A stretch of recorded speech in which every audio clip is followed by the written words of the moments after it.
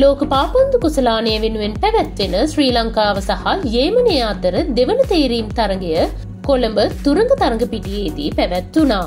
එහිදී ගෝලයකට එකක් ලෙස තරගේ ජය පරාජයෙන් තොරව අවසන් වුණා. තරගේ ආරම්භයේදී පළමු ගෝලය යේමනය වාර්තා කරගත් අතර තරගේ දෙවනි භාගයේදී ශ්‍රී ලංකාපිල ගෝලයක් වාර්තා කළා. ලෝක පාපන්දු සම්මේලනයේ නිර්දේශ මත ශ්‍රී ලංකා පාපන්දු සම්මේලනය විසින් තරගේ සංවිධානය කළ අතර තරගේ සඳහා ජාත්‍යන්තර පාපන්දු නියෝජිතයෙන් කීප දෙනෙක් සහභාගී වුණා. ක්‍රීඩා අමාත්‍යවරයා ඇතුළු විශාල පිරිසක් මීට එක්ව සිටියා.